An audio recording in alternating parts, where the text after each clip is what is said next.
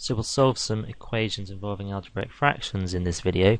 We'll just use the ordinary rules for manipulating equations that we can apply a mathematical operation to each side of the equation, remembering if we apply it to the left hand side we must also apply it to the right hand side and vice versa, and also use what we know about uh, simplifying and using algebraic fractions along the way. So let's just do some examples. In the first one, um, it's not uh, that difficult. The only thing in an algebraic fraction is something with a just a number in the denominator. Really, our approach for all of these is just going to be to multiply the equation through by anything that's in the denominators here. Okay, so here 3 is in the denominator, so I'm going to multiply the left-hand side of the equation by 3, and I just the most important thing to know here is we've got to do it to every single term. Okay, so it's like I'm doing 3 times the whole of the left-hand side. I'm not going to spell this out every time uh, and 3 times the right hand side. Okay, so we do 3 times 7, which is 21, 3 times 2x over 3, which is just 2x. Uh, that's why we multiply by 3 to get rid of that denominator there. And 3 times 17 is 51. So uh, rearranging this gives 21 minus 51 is minus 30 equals 2x. So that's minus 15 equals x. Uh, so maybe we should write that as x equals minus 15. And as with all equations, we could plug that into the uh, original equation and check that it's worked. I won't do that with all the examples here, but let's do it with this one. So we get 7 uh, minus 2 times minus 15 over 3. Uh, so 2 times minus 15 is minus 30, divided by 3 is minus 10, and we've got minus that, so it's 7 plus 10 is 17, and that works. Okay, so let's look at some uh, progressively trickier examples. This one, we've got uh, an x in the uh, denominator in two different fractions. So if we multiply left and right hand side by x, well, we get 32 uh, for this one, plus 12x, that's the left hand side multiplied by x, equals 21. Clears the x's in all the uh, denominators there, so we get 12x equals uh, 21 minus 32, which is minus 11, so 12x is minus 11, and x is minus 11 over 12, and we'll leave the answer like that.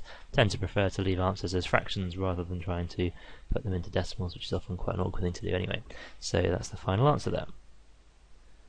Okay, getting a little bit harder then.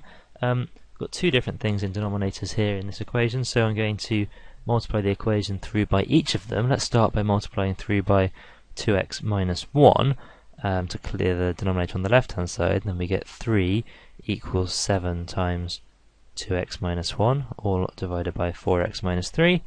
And now this is the denominator we've got left, 4x minus 3, so let's multiply both sides of the equation by that to give 3 times 4x minus 3 equals 7 times 2x plus 1. Now in this very particular case uh, here where we've just got two fractions, one thing over another, um, here, what we've ended up doing is sort of that one is multiplied by the, the 4x minus 3 is multiplied by the 3 and the 2x minus 1 is multiplied by the 7. Some people write this sort of thing down and say, okay, well I've just got that times that equals that times that. If it's just this situation, there's nothing else, um, then that's fine. If you've got another thing here like a plus 2, you've got to be really careful. But just for something exactly like that, you could you could apply that shortcut. Um, so we get to here, either way, and then we multiply out the left hand side, so we get 12x minus 9, multiply the right hand side, 14x plus 7, collect all the x's on one side, so we'll subtract 12x from each side to give 2x, then subtract 7 from each side to give minus 16, so 2x is minus 16, so that means that x is equal to minus 8.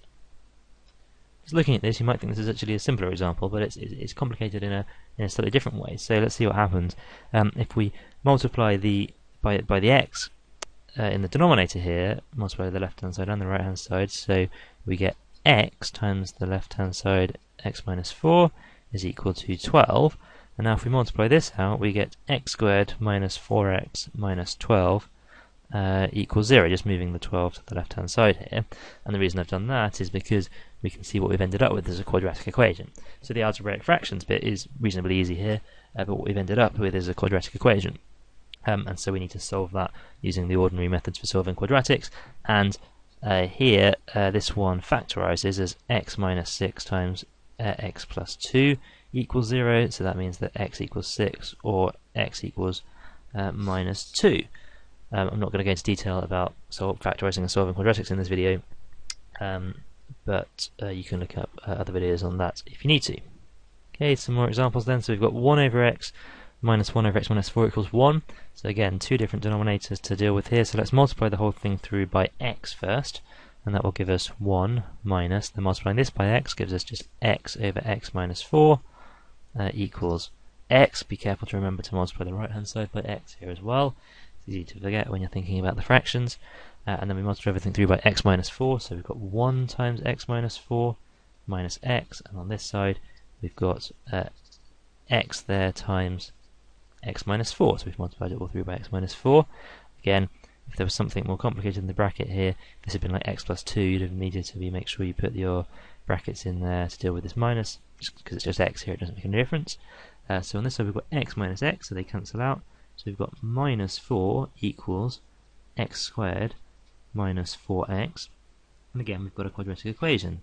0 equals x squared minus 4x plus 4.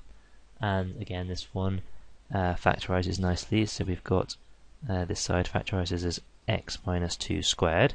So the only uh, value of x that works here is uh, x equals 2. And like with all of them, if we wanted to, we could substitute this back into the original equation um, and check that it works. So let's do that just for, uh, for, this one.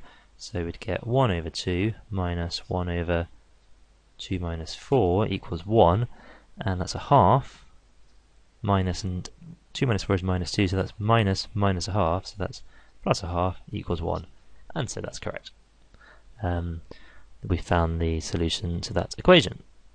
Okay, here's another one. Um, this is really just about being careful with uh, putting things in brackets. So um, x plus 6 equals 4 over x minus 2. We're going to multiply both sides by x minus 2.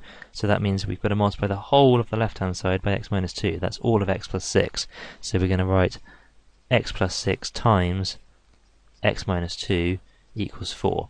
Um, you could do them term by term if you wanted to, actually. So you could say, you know, x times uh, x minus 2 uh, plus 6 times x minus 2 uh, equals 4. That would be exactly the same thing. That's exactly what we do really when we multiply out these brackets.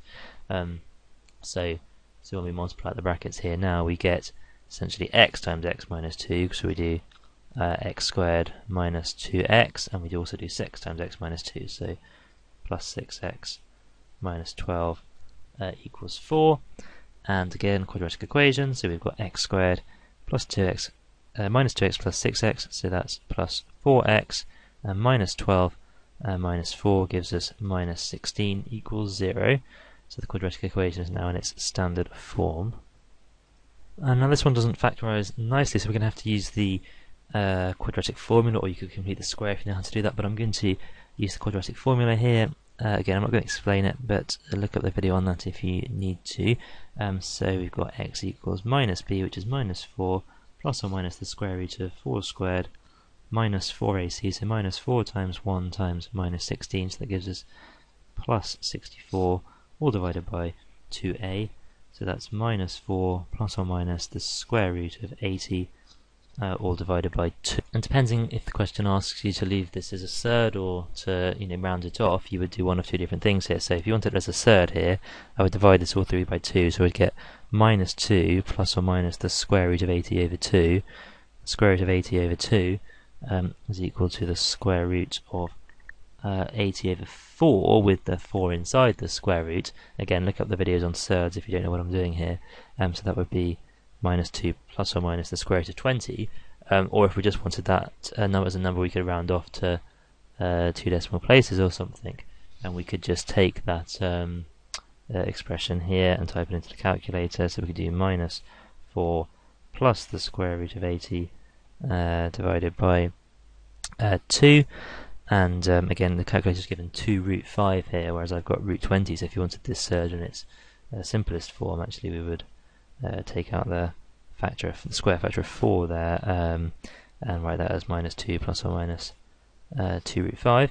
Um, but here, if we just round it off, say to two decimal places, that would give us 2.47 uh, for that first answer, and the other one would be minus 4 minus uh, the square root of 80 uh, all divided by 2 and that would give us minus 6.47 as the two possible uh, different answers to the quadratic equation. Sorry, that was um, was doing that a little bit off the camera there, but uh, there are the two answers, and there is um, there was the other surd form there, minus 2 plus or minus 2 root 5. Okay, last example then, um, quite similar to some of the, the previous ones really. Um, so we're going to multiply everything through by x plus 1 and by x plus 3. So actually, let's try and do it all in one go this time rather than doing it in two different steps. So multiplying it through by x plus 1 and by x plus 3, this fraction, the x plus 1 cancels and we get just x plus 3. This fraction, the x plus 3 cancels and we get just x plus 1. And we've multiplied the right hand side by x plus 1, x plus 3 as well. So here we get 2x plus 4 equals x squared plus 4x plus 3. So we've got 0 equals x squared plus 2x minus 1. Again, this one doesn't factorize, so let's use the formula and say that um, uh, x equals minus 2 plus or minus the square root of 4 minus 4ac, so plus 4 all over 2, which gives us minus 2 plus or minus uh, the square root of 8 over 2.